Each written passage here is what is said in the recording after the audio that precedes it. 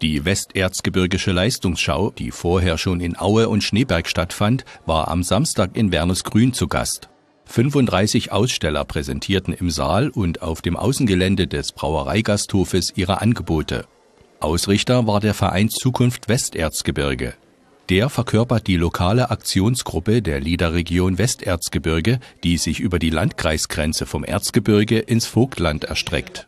So lässt sich auch der Veranstaltungsort Wernesgrün erklären. Aussteller bei der Leistungsschau waren Handwerker, Vereine und Organisationen der Region. Auf der Bühne wurden ganztägig verschiedene Liederprojekte vorgestellt. Die vom Verein Zukunft Westerzgebirge betreute Region umfasst ein Gebiet von 675 Quadratkilometern mit 19 Städten und Gemeinden. In diesen Orten leben rund 140.000 Menschen.